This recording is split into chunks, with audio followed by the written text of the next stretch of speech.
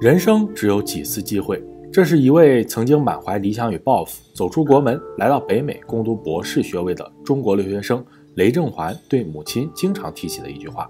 然而现如今，由于一场赛事的意外，他成了一个无法自我照顾，每天只能躺在医院床上望着天花板的植物人。最遗憾的是，这场令人悲痛的意外本可以完全避免。二零二三年十月十四号，一场被号称是接触轻微和可控的武术锦标赛在加拿大西蒙菲沙大学的体育场举办。来自于不列颠哥伦比亚大学的武术爱好者郑环雷报名参加了比赛，没想到这场比赛却改变了他的一生。加拿大格斗运动监管律师 Eric McGracken 在社交媒体上透露。雷报名参加了宣传中的轻接触跆拳道锦标赛，同一天进行了多场比赛。最后一场比赛后不久，他失去了知觉，被送往了医院，随后被诊断出硬膜下血肿，即颅骨内部出血。这是一件非常危险的事情，往往是致命的。事实的确如此。手术过去的三个月后，雷仍处于植物人的状态。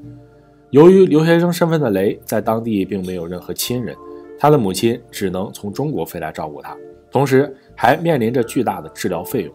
根据雷的母亲李女士在律师提供的一份由中文翻译的声明中写道：“他感觉仿佛经历了一场死亡。”那么，这到底是怎样一场武术锦标赛变成了一场谋财害命的可怕赛事呢？根据资料显示，这场名为拳踢 （Kickboxing） 的比赛。是由西加拿大武术锦标赛 （WCMAC） 中的一些人组织，并且由世界跆拳道空手道联合会加拿大分会 （WKUC） 对其进行了官方认可。但实际上，在一份诉讼中，原告方指控武术锦标赛的组织者没有采取足够的措施来保护像他儿子这样的参赛者。他还指控比赛的裁判和急救员资格不足，未能确保儿子的安全，并且世界。跆拳道空手道联合会加拿大分会也没有资格对该活动进行背书，这就意味着这场比赛违反了当地 BC 省的法律，这让这场拳击比赛成为一个非法认可的活动。除此之外，承办本次武术锦标赛的场地加拿大西蒙菲沙大学 SFU 还未能确保其设施被适当使用。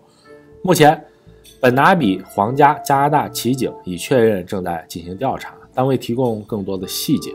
在诉讼中，李女士声称，她的儿子在2023年的十月在 SFU 举行的拳击锦标赛中进行了三场比赛。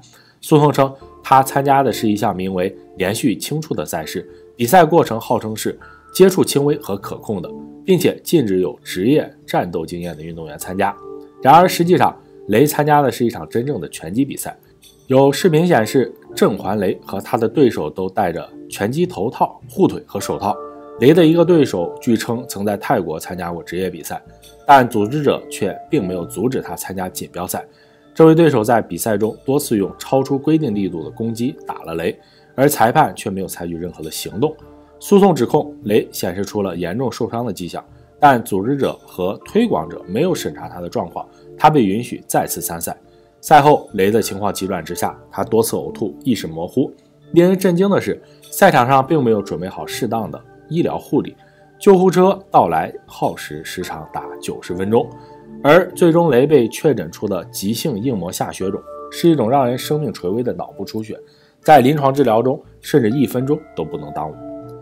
雷的母亲透过媒体表示，他的儿子在加拿大学习了五年化学，现已飞回中国接受治疗。雷在单亲家庭中长大，是家中唯一的孩子，母亲把他培养到今天这一步并不容易。正当他即将完成博士学位时，希望破灭了。除此之外，还要进行一个漫长的法律诉讼过程。目前，雷的母亲已经起诉了比赛的组织者西蒙菲沙大学、他儿子的对手、赛事的裁判以及其他参与赛事的相关人。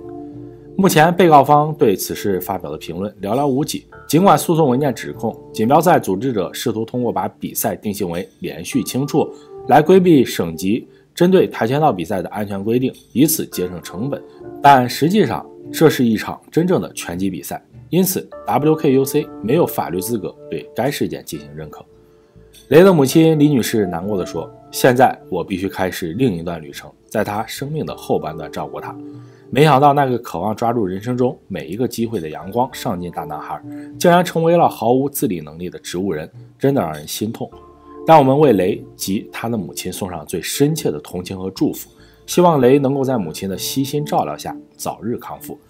同时，小编也希望热爱伴有一定危险性运动的观众朋友们一定要量力而行，最大程度的避免此类的飞来横祸。如果您喜欢本期视频，请关注、点赞并分享，下载 App 解锁更多功能。我们下期再见哦！